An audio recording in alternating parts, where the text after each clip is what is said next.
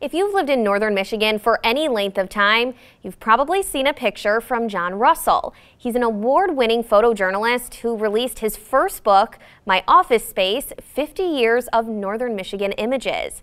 Corey Adkins explains in this week's Northern Michigan in Focus. This was my first camera. But what a gift to be able to capture things. Capturing things has been photojournalist John Russell's life for over 50 years. 50 years that have flown by. You look at a day and it seems to drag, and all of a sudden you're in the next month.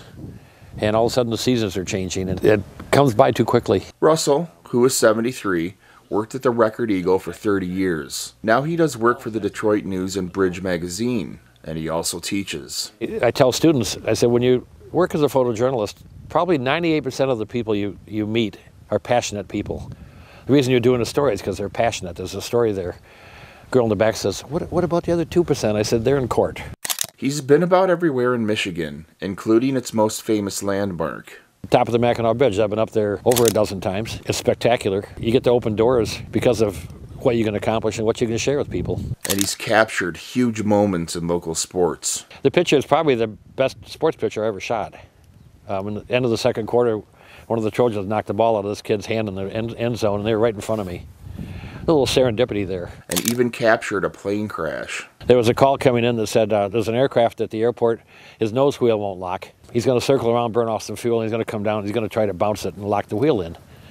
So I was standing there with the fire people and said, any chance to go out on the runway with you when he comes down? He said, sure, come on out.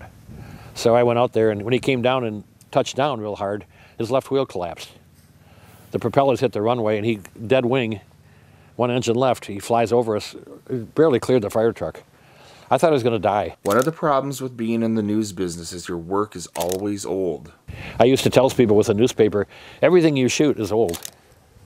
Because the next day when it's in the paper, it's a day old.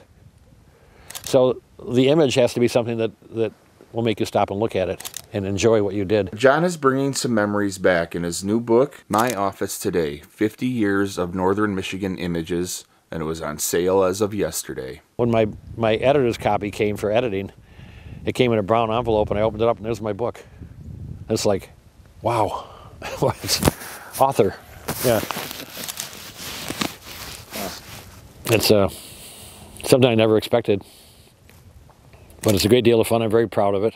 I'm hoping people will take back from that the, the joy that I've had with the camera. For Northern Michigan in Focus, I'm Corey Adkins.